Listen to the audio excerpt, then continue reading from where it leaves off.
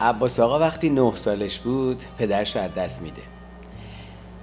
به همراه مادرش خواهر کوچیکش و برادرش نقل مکان می‌کنن به تهران میان. چون دو تا برادر بزرگترش تو تهران کار می‌کردن.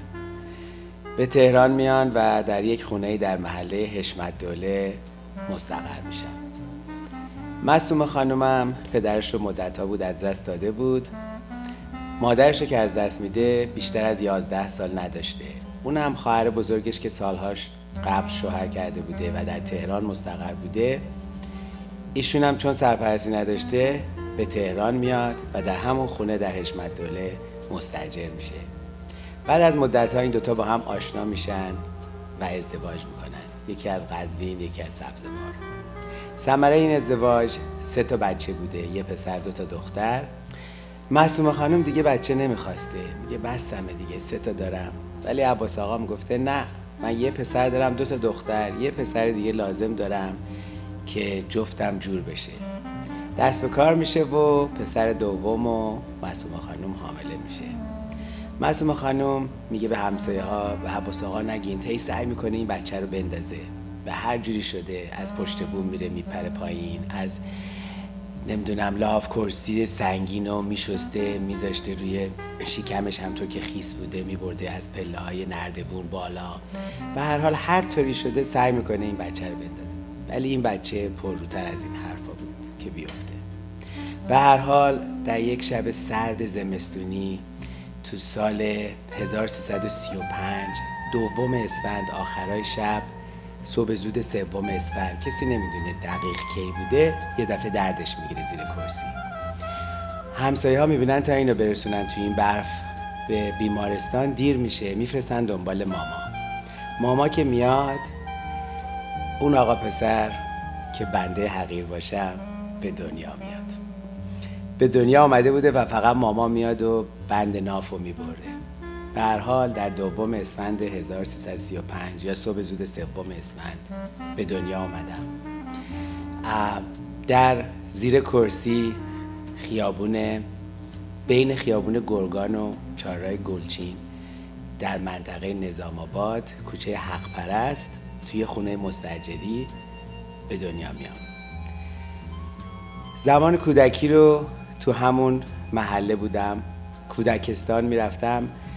مادرم تعریف می‌کرد از چهار پنج سالگی نقل مجلس بودی هر مهمونی می‌رفتیم همه می‌خواستن که تو رو ببریم روی میزا بذاریم. از این میز میرقصیدی بغلت می‌کردن میذاشتن رو میز دوباره میرقصیدی. انقدر میرقصیدی که خستگی خوابت می‌برد. یادم میاد رفتم دبستان. تو دوران دبستان نمی‌شد رقص و ادامه بدی توی مدرسه. تا اینکه کلاس اول دبیرستان بودم. سیزده سالم بود پیشاهنگی رفتم. اولین باری که روی صحنه رفتم توی اردوی پیشاهنگی بود. قرار بود اون موقع وزیر آموزش پرورش خانم رو پارسا خدا بیاموزدش به دیدن برنامه ما بیاد. و من از این کاغذ کشی ها یه دامن برای خودم درست کردم رقص هوایی کردم. اولین باری بود که رو صحنه رفتم. بعد از اون خوشم اومد از تشویق مردم. از همه میپرسیدم چجوری میرن اردوی رامسر؟ می‌گفتن یا باید تو درس نابغه باشی که من نبودم یا باید صدای خوبی داشته باشی که من نداشتم یا خط خوبی داشته باشی. به هر حال باید تو یه چیزی اول بشی. با کل استانا مسابقه بدی. البته از هر استانی یه نفر میومد از تهران هم باید یه نفر بیشتر نمی‌رفت. اومدم فکر کردم من رقصم خوبه. گفتم مرد می‌تونه برقصه. گفتن مرد که تنها نمیرقصه. اومدم دو تا از بچه ها رو گفتم بچه ها می‌خوایم به این اردوی رامسر بیاین. من یادتون شروع کردم رقص آذربایجانی. این دو تا پسر این برانور من وایستادن. هی فقط دستشون رو بالا پایین میبردن. بقیه رقص خود من انجام می‌دادم. رفتم پارچه ساتن قرمز یادمه گرفتم برای پیرنامون. شلوارامون ساتن مشکی. خلاصه یه لباس آذربایجانی درست کردیم. تنها رقص گروهی مردونه اون زمان رقص آذربایجانی بود.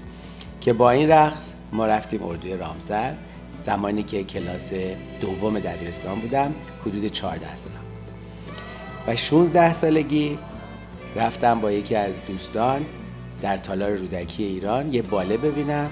خیلی خوشم اومد. اون شب اصلا خودم رو تو رویا می‌دیدم. تمام این باله من فکر می‌کردم چرا من نباید روی این صحنه باشم. برنامه که تموم شد اومدیم پشت صحنه که این دوست من دوستش رو ببینه. منم از یه نفر پرسیدم من بخوام برقصم چیکار باید بکنم؟ گفتن چه رقصی می‌خوای بکنی؟ گفتم رقصای ایرانی ایشون گفت اینجا نمیشه بعد بری خیابون ملک سازمان فولکلور. رفتم اونجا و چون رقصنده مرد کم داشتن من استخدام کردن خوشبختانه. امتحانم کردن و استخدام کردن و از اونجا شروع کردم 16 ساله بودم یعنی 35 سال پیش. اینجا بود که رقص رو به طور حرفه‌ای شروع کردم. تازه نهم دبیرستان رو گذشته بودم. بقیهش رو شبونه میخوندم روزا می‌رفتم تمرین و دیپلم گرفتم در همون تالار رودکی با همسر سابقم که یه دختر انگلیسی بود و توی باله بود. و قرارداد داشت از انگلیس اومده بود در باله ملی ایران تو تالار رودکی برنامه داشت. با هم آشنا شدیم ازدواج رفتیم انگلیس ازدواج کردیم دوباره برگشتیم ایران.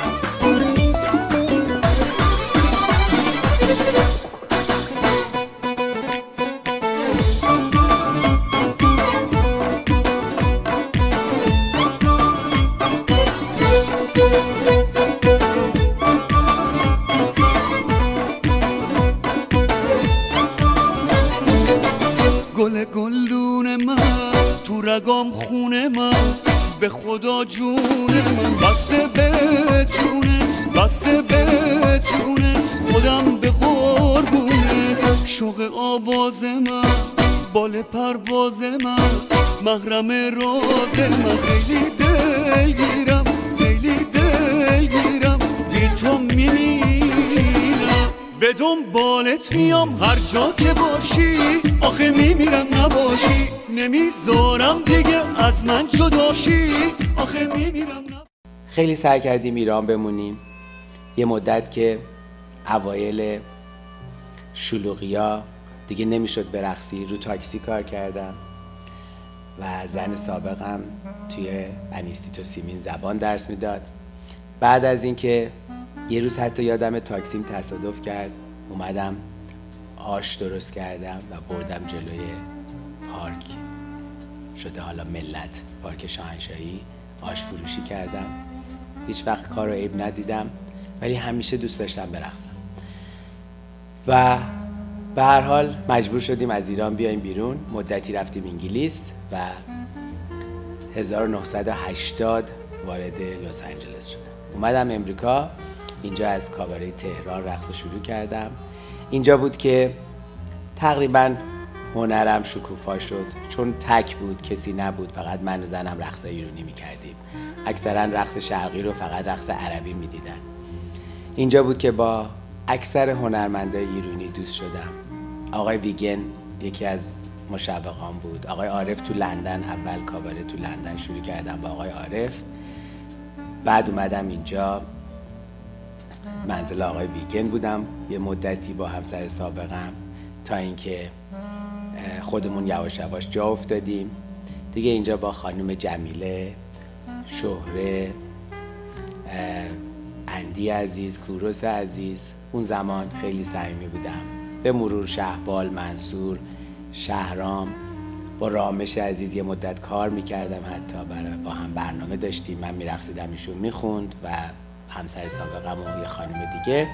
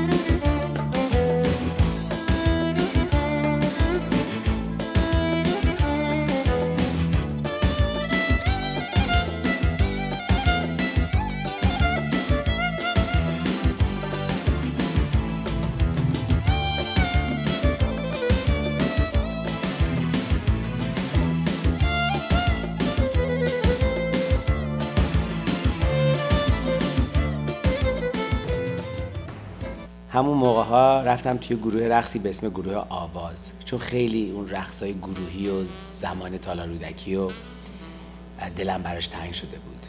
تو اون گروه که بودم براشون طراحی رقص می‌کردم خودم سولو میرقصیدم. بعد از اونجا طراحی رو یاد گرفتم و شروع شد. طراحی لباس های محلی ایرونی می‌کردم چون اینا بیشتر رقص های محلی اروپای شرقی رو می‌کردن. یونانی بود تونسی بود بلغاری بود. یه مقدارم ایرونی داشتن ولی درست بلد نبودن. من یادشون دادم. سال 83 بعد از سه سال از اینا جدا شدم و گروه رقص سبا رو درست کردم. یعنی رقصنده های دیگه بهم گفتن چرا گروه خودتو درست کنی اول با چهار تا رقصنده یواش یواش اضافه شد. اولین کنسرتمون رو سال 1983 گذاشتیم. اون موقع گروه هم 16 نفر شده بود. بعد تو سالهای 93 اگه ویدیوها رو نگاه کنیم گروه سبای شماره یک 83 ضبط شد. گروه سبای شماره دو 93 ضبط شد در رویس هال یو که اون موقع گروه هم شده بود مثلا سی نفر سی و پنج نفر.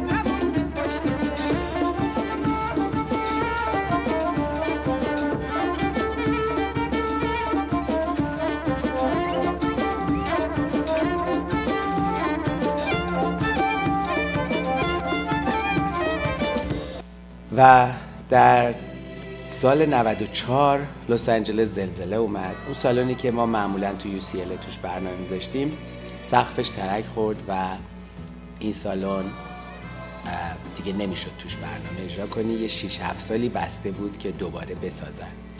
و من از اونجا تقریبا دیگه کار گروهی رو کمش جمعش کرده بودم. به کنسرت هایی که با دیگر هنرمندا بود و به اروپا می‌رفتن و اینا با اونا بسنده کرده بودم و مهمونیا و عروسیا و اینا بود. پول خوبی در می آوردم ولی کار هنری معمولا پول توش نیست بعد پول از جیبت بدی. بعد ولی عشقم تو اون کار هنری بود که اسم برنامه هم همیشه میذاشتم شبی به یاد شبهای تالار رودکی. همیشه هم آرزومه که یک روز دیگه این برنامه رو به تالار رودکی تهران ببرم. و مثل قدیم مثل 16 سالگیم که این برنامه ها تو تالار رودکی اجرا می شد و واقعا هنر دوستا می اومدن و برنامه رو خیلی استقبال می‌کردن. بلیتاش از یک ماه دو ماه قبل همیشه فروش رفته بود. دلم خیلی می‌خواد این برنامه رو به اونجاها ببرم و بعد از اون به تمام شهرهای ایران. به حال من تا سال 2002 برنامه بزرگ اجرا نکردم. گروه هم به مرور از هم پاشیده شده بود. یه گروه کوچیک ده دوازده نفره داشتم که آخر هفته ها عروسی سه تا رقصنده اینجا بفرست چهار رقصنده اونجا بفرست. به این صورت کار می‌کردم. 2002 دیگه خیلی دلم گرفته بود. چون اون مسئول خانم که اول ازش صحبت کردیم سالها بود فوت کرده بود و همیشه آرزون بود برم ایران برم سر خاکش. اون عباس آقا پیر شده مریض بود رفتم دوبه ببینمش. بهش اجازه پرواز ندادن و پشت تلفن گریه کرد گفت دیدار ما میره به قیامت. تو که نمی‌تونی بیای ایران. منم که دیگه بهم اجازه پرواز نمیدن. اونجا بود که گفتم بابا جونم من اشتباهی که کردم وقتی مادرم فوت کرد نیومدم. ولی نمی‌خوام اون اشتباه تکرار بشه و خودم رو نبخشم. من حتما میام دیدن شما. اجازه بده برنامه های عید نوروزم تموم شه. این برنامه نزدیک های عید نوروز سال 2002 میلادی بود. تقریبا 6 سال پیش که بعد از برنامه های عید نوروز درست فکر کنم 22 فروردین اون سال بود که برگشتم ایران. بعد از 23 سال وارد تهران شدم. تهران خیلی عوض شده بود. به هر حال خبراشو داریم که توی ایران چه اتفاقایی برام افتاد. تلخ و شیرین با هم بود. شیرینیاش بیشتر بود. مخصوصا وقتی که از زندان آزاد شدم دیگه برای مدتی ممنوع خروج بودم. منم از خدا خواسته شروع کردم به ایران گردی. با ماشین رفتم مازندران. از مازندران شروع کردم. تمام پایین دریای خزر رو طی کردم تا آستارا. از آستارا اومدم سرین تبریز. همینجور تمام ایران مشهد. تا جایی که گذاشتن اصفهان ولی متاسفانه هر جا می‌رفتم یه ذره شلوغ می‌شد.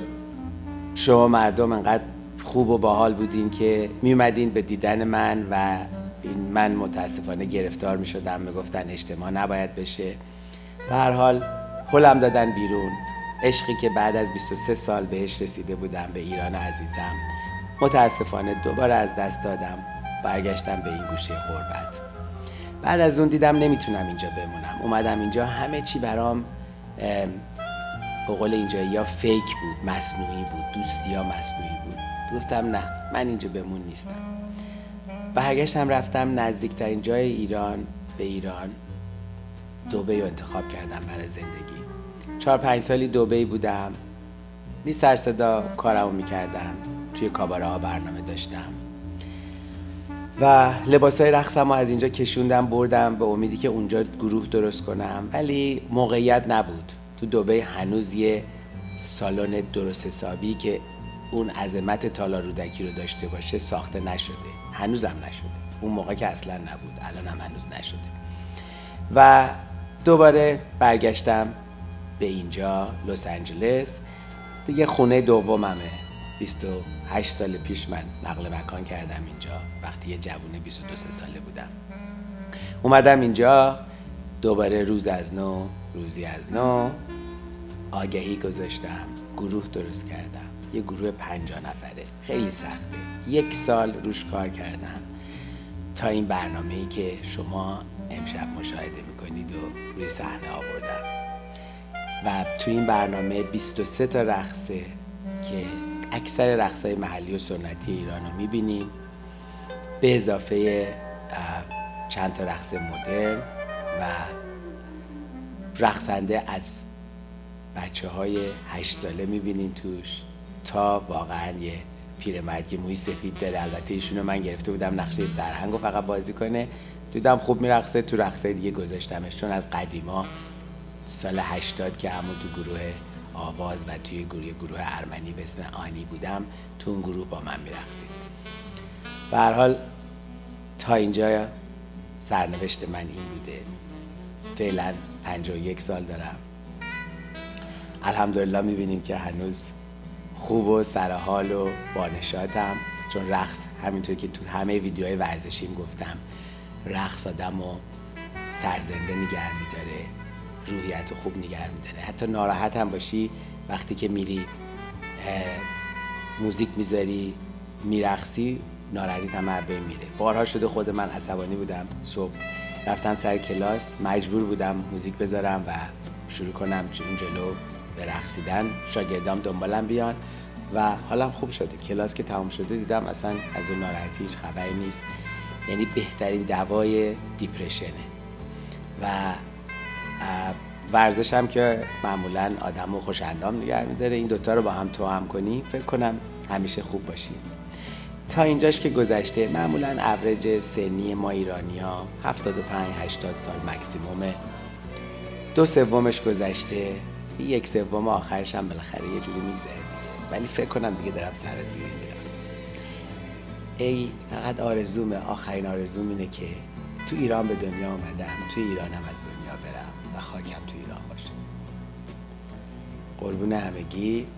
خداحافظ.